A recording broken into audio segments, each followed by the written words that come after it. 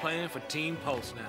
Hello, this is HC Bailly, and welcome back to Let's Play Final Fantasy 13! Why me? Why me? You get to sit on the sidelines with Hope, Sazh. He is. I mean, we can't use him right now anyway, so don't worry about it. I just got out of another cutscene. Okay, if we don't know our focus, how do we complete it? Well, that's what the long, narrow hallways are for, Lightning. I think. I'm teasing, I'm teasing, but uh, so what? Level design, That, That could've been how better. focus comes down, people. The Fal'Cie, they don't spell it out with clear-cut instructions. Well, of All course not. That would actually make sense. Mm-hmm. I can't take it That's they anymore. You know, They do this all the time in movies, where they just create this artificial mystery. Did you see anything? What do we do? Well, I'm not going to tell you. You figure it out. Or I'm going to give you a cryptic riddle that doesn't really help you at all. foggy, Even though I could just easily tell you what to do straight up. I mean, just to keep the audience in Wait a minute. suspense. Hold on now. I'm not gonna introduce any sort of dream? tangible villain because that'll entice the player to keep going on with mystery. I. I'm sorry. What's going on? Oh, yeah, we had some sort of dream or something. I, I wasn't paying attention. Sorry, viewers, but. Uh, So, we all saw the same dream. so, they We enslave people and then give them a dream to tell them what to do. You mean that was our focus? Really? How are we Really, supposed to know what to do from that? Exactly! Even the, The these guys know what that. Elsie gives us. Figuring out what to do with it. That's our job. Well, fortunately, I'm playing this game for We're the battle pulseless, mechanics, not for the story. Enemies a but cocoon. Uh, so, That's just does that dumb. mean that our focus is...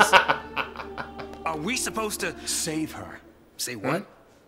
Our focus is to protect Cocoon. Really? Okay. And why's that? Because this is a Final Thomas. Fantasy game. What did you expect Let's us to do do? it. We're all in this We together. always save the world in a Final I'm gonna look for At least Serah. they didn't change She that be about the game. Of course we're gonna save the come too. world. As if that's a spoiler. Wait! Jeez. A nice place for your That boy tattoo, stay still. Sazh. Really? I was gonna call him Chad for some reason, but no, that wasn't be right. So, but yeah, Lightning's in the lead now. Kind of weird having Lightning in the lead in a way, even though I usually like her in the lead. But she has the least HP of all the people in my party. Which is weird, you know. Usually the leader has pretty good HP. So, no, I don't want to view the tutorial. So I'm gonna give you my own. Uh, we got the Crystarium in Final Fantasy 13. It, it's basically how you grow and develop throughout the game. Essentially, it's pretty much the same thing as the Sphere Grid, except not nearly as tedious and without providing the illusion of actually having choice. Uh, basically, you see in the upper right there, we have CP. That's Crystarium points, or, well, ability points, essentially. So you can spend them to learn new abilities. Like this one here, that's where you get like a little strength boost or something, and it costs 60 CP. See that at the bottom there. Generally, when you're going for new abilities to learn, you want to go for abilities first, or at least for right now. There's other things we can get besides stats and abilities, but I'll go over that. But for right now, I pretty much want to focus on Ravager because you see we got access to a new element there, and that's basically a totally new command for her to use. So I want to learn that as quickly as possible. So let's go up here, get that, and I don't have enough CP to get that, so that's it. So we just move on down the line. I'm not going to do this on screen for the majority of the game.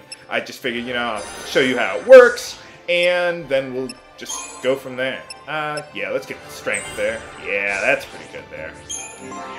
And for Vanille, generally, I like to focus on Ravager over Medic. Uh, yes, because she can learn a new element there, so that'd be pretty nice for her too. So, and what I'm gonna do, what I like to do in the game is I like to just take a look at my Crystarium every time I hit a new save point, so that way, you know, I'm not checking my Crystarium after every single battle. Uh, how are we doing? Oh, you know what? I think there's something to the left. Ah, there it is. Am I in the right paradigm? Yes, I am. All right, there we go. Yeah, those guys are easy enough. The enemies will get much harder soon enough, viewers, soon enough. Not enough to actually kill you, but uh, I'll, I'll tell you when I got my first death in this game, but it was not here. This game's actually remotely challenging, even early in the game. Not right now, but I mean, relatively early in the game. But anyway, we got a Pearl Wing staff. It boosts our magic a little bit, so sure, why not? Let's go for that. Uh, she's her strength is basically useless because she has no physical attacks. That's a lot. Although Ravagers can get physical attacks, I probably didn't state the difference between a Ravager and a Commando that well. Uh, commandos get non-elemental attacks. Ravagers get all the elemental stuff, but they even get elemental physical attacks eventually. So that's pretty nice. And here's something I want to show you with this battle, even though they're the same enemies that we've met up with. If you press the R1 button, you can see what enemies are weak to and their stats and everything like that. So let's use our new technique, Libra, on one of those whites to reveal some of that information there. Okay, so there you go. You see uh, they are primary... Oh. You see they uh, frequently evade attacks there. So physical attacks really aren't as good against them. That's why in auto battle, uh, Lightning is using Ruin because what'll that what that'll do is it'll bypass that problem of hitting the enemy. So that's pretty nice. The AI will take uh, the elemental weaknesses and things like that into account. That's what I'm talking Uh, I didn't get a chance to show that guy, but gas are pretty much weak to almost everything. But you know, there you go. And uh, when you use a technique there, like Libra, uh, it uses up. You see in the lower right there, it uses up tech points. And in this particular case, uh, Libra uses one tech point. Every time you win a battle, you get a little bit of tech points back. So there you go. Uh, hey, what's that sound? It sounds like a hidden treasure. It's not really hidden, but uh, I just like saying that. Shut up! I'm having fun. Okay, so we got one, two. Okay, there's one more up ahead. I'm just trying to keep track of everything so I know that I'm not missing any treasures or anything. And just so you know, you cannot go back to uh, an area after. Once you get through a chapter, you can't go back there eh, for the first several parts of the game. Or several areas of the game. So just so you know, but there's nothing that, at least as far as I know, that's But it makes permanently missable. You can usually buy everything stop us from eventually putting it to later. good use. So what's going on? I didn't see a cutscene in the uh, Ragnarok. in the uh, mini map there. Usually there's a little That's symbol the there. reason we're l'Cie. To stop it. To keep Cocoon safe. Yeah. So- why don't you give us one reason to believe that? Yeah, Ragnarok reason. means the end of the world. Isn't that like Norse mythology or something like that? She I used to really be into Cocoon. Norse mythology. And then she turned to Crystal. That's the proof right there. She completed her focus. Oh, yeah. That means ours is to save Cocoon. Yeah, and we got the kick-ass music too. was the I like Snow's theme. Our focus has got to be the same. We were chosen to be guardians. To defeat Ragnarok. Trying to think of a Final it Fantasy makes X sense. reference. What the hell it does? You're grasping at straws, son. Pulse Fal'Cie are Son. Cocoon's enemies. We just got recruited by one of them. Oh yeah, that would be a problem. If I were a betting man, So why would they recruit I'd her put us on the other to side. tell us to save Cocoon So Serah's and then enemy recruit too? us to destroy Well, I don't it? buy That- it. That doesn't quite make sense. Hmm. We have the power to Tiz save can't be Cocoon that much older than work together Snow, and though. carry out focus. The Fal'Cie took Sarah from us, and you want to help it? I'd Whose rather- you on? I'd rather you punch me than the a sword up to my throat. Nuts. Place that your didn't hands take behind long. your heads. It's like five minutes. Well, ten minutes, but whatever. Nuts. They got us. Oh well. Game's over. That's you it. fall off the purge train? Well, yeah, and then everything Maybe. turned to crystal. Are you talking back to me? Huh? Dumbass. Huh? Nice gun. Oh, that was so hot. Stop her! Freeze! You know, I'm just going to uh, show this just because, you know, I want to show how powerful we really are. Oh, that's just so hot. okay, uh, this is to show you things that I showed you before. So let's just skip that and take these guys out. One more. oh, I love it. I love being a l'Cie. I thought they'd be tougher than that. Of course, those were guys we met up with in chapter one, but oh well. supposed to be cream of the crop. Yeah, but Uh, Psycho's an no, anti-Pulse I task think force. so. They haven't fought a war in centuries. Ah. Bunch of rookie troops swinging around overpriced toys. Of course, they could have shot So, us, from but what you're telling me, you know, they just sounds stood like a there. regular old soldier that's got more training than special forces. Nothing for us l'Cie to be afraid of. Cut the crap. Their grunts might be green, but PSICOM's elites are cold-blooded beasts. They are. They hit the field and it's game over. Well, we can just hit restart. You know? Uh-oh. Then let's run away. Ciao! Yeah, we're not actually going to come up with any sort of concrete plan or anything like that. We're just going to follow the narrow hallway there. You don't mind the snow? What's a or, man well, this do? isn't snow, but it's about as close to an ice area as we're going to get in the game. So, oh well. I like the ice areas. Except Final Fantasy 1. That, that one's different. Oh well. Okay, well let's move along then. Where's all the new enemies around here anyway? Not here, apparently.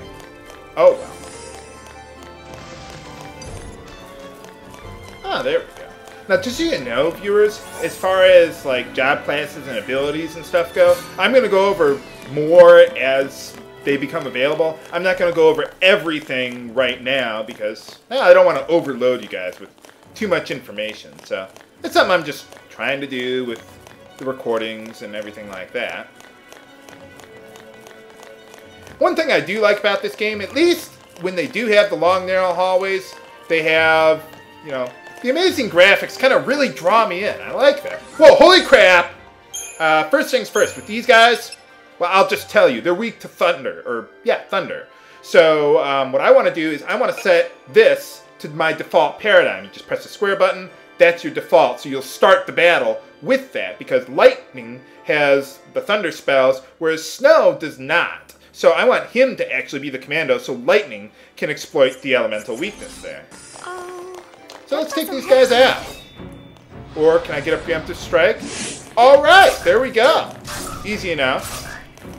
Okay, so first things first, let's use Libra on them. Whenever you run into a new enemy, you basically want to use Libra on them so your AI will automatically target the elemental weakness. Not just for your main character with auto battle, but for your other side characters there. But you see, it didn't reveal everything up there, like the status immunities. But that'll be revealed as you hit an enemy more often. Let's paradigm shift. Uh, you basically press L1, you can select a new paradigm that you set up earlier. The reason I did that is because when you do it, you get a full ATB gauge to compensate for the paradigm shifting animation there. Whoa, I could actually use some healing. Let's switch to my healing paradigm now. You see, this is how you paradigm shift to take advantage of the different job classes that you have available. But anyway, as far as I was saying about paradigm shifting, uh, to basically get a free turn, I paradigm shifted at the beginning of the battle to a redundant paradigm. That's why I created duplicates of the exact same paradigm there. So I like to call this ATB refresh, although some people call it ATB cancel. But uh, essentially, to take advantage of this throughout battle, my experience indicates that you can only do this like every other turn or something like that. I've heard some people say that for like every ATB bar you execute, you get one half bar towards ATB refresh, which well, I suppose that would make sense. So, but essentially, just shift paradigms every other turn, even if you don't need to change your classes around.